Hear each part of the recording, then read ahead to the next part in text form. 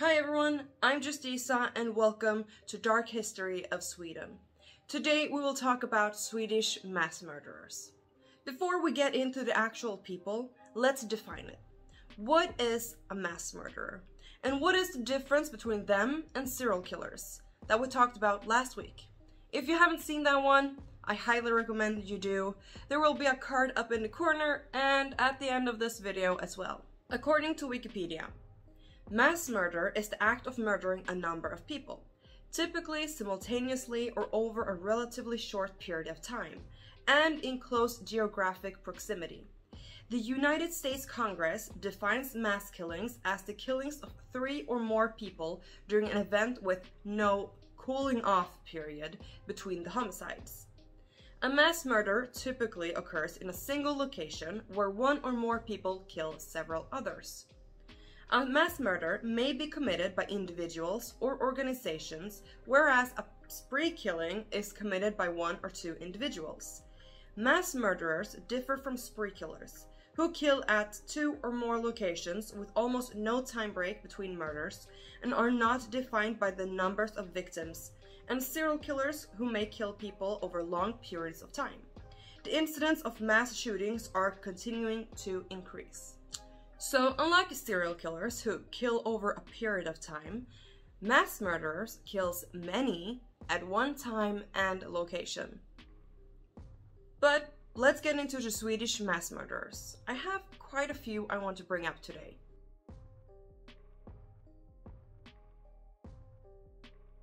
Nils Peter Hagström was born 25th of November 1853.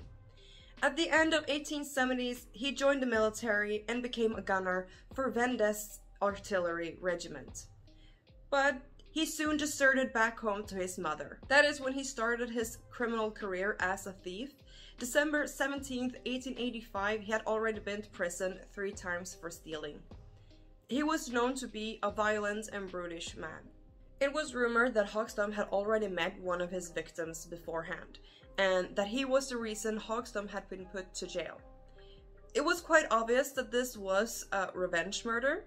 He even swore that when he got out of jail, he would get revenge. The night of January 11th, 1886, he exacted his revenge.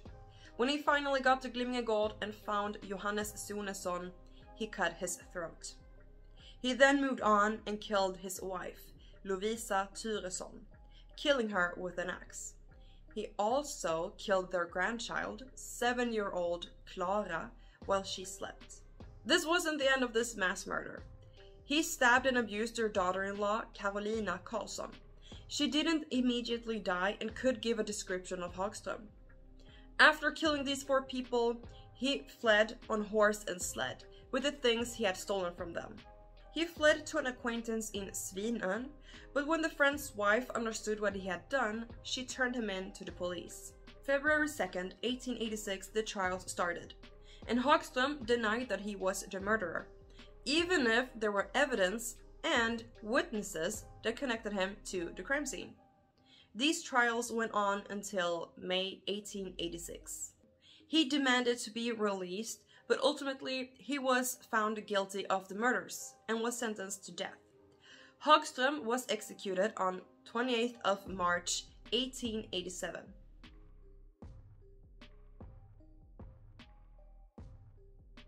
Twenty-third of March 1875, John Philip Nordlund was born in Stubbsbo.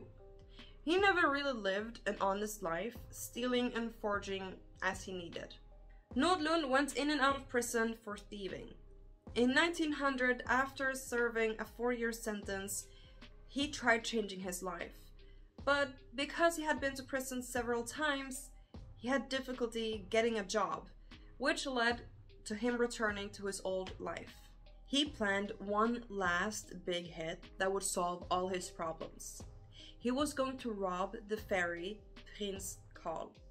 He bought a ticket, got on a boat, and with him he brought two revolvers, several knives, and padlocks. His plan was to lock the engine room and steal as much money he could from the passengers and also the ship's register.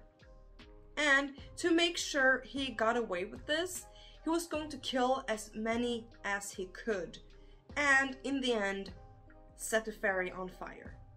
His plan failed, since he didn't count on the passengers trying to get the attention of another ferry.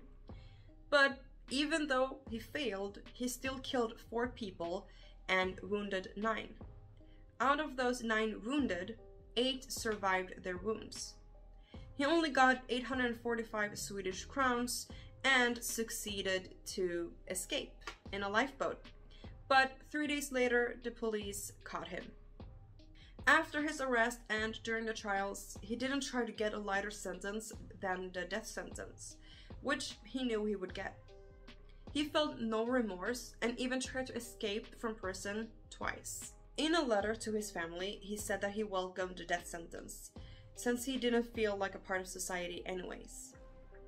December 10th, 1900, he was executed by beheading.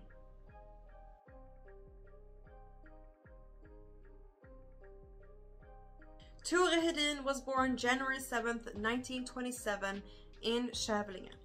At 16, he was already guilty of arson after breaking into a brewery to steal fodder for the family horses.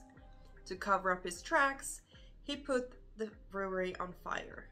In the 1950s, he trained to become a parish constable, where he met Gunnar Johansson, who would later on investigate his case. 1951, after a poker game, Hedin killed and robbed his friend Allan Nilsson. And once again, to cover up his tracks, he set the house on fire. He was also the one to investigate the murder and therefore could easily get away with it.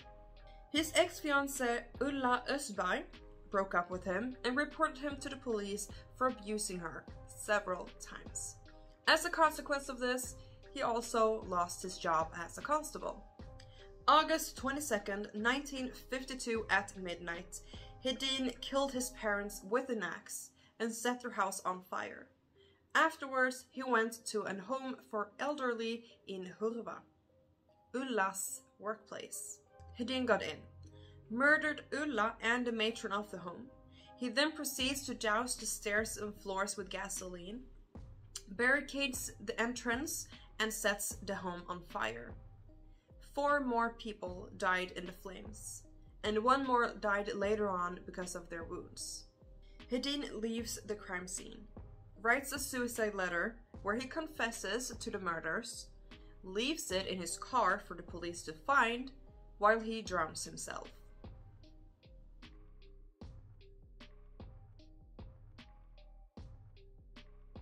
Mattias Flink, born March 8, 1970 in Falun. In 1993, he graduates as an officer and is employed by the Swedish Armed Forces. Spring 1994, he himself applied for treatment for his mental health. He is getting more aggressive and irritable. Both friends and family are getting worried for him. June 10th, 1994, after a night out with some friends, he meets his girlfriend, Eva, she thinks he's too drunk and tells him to go home. A security guard kicks him out and also tells him to go home. He moves on to another club where he meets his girlfriend again. This time, a fight breaks out and the guard throws him out. Eva decides that she's going to report him, and she and her friends walk over to the police station.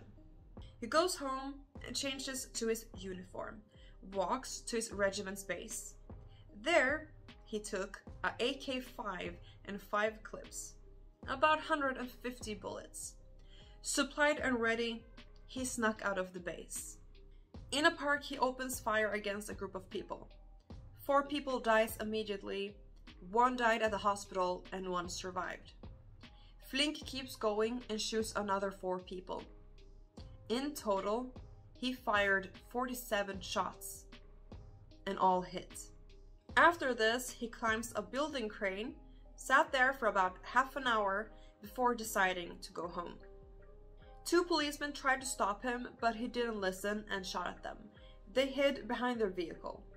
They then succeeded in stopping him by shooting back at him, hitting him in the hip. The pain woke him up from his psychosis.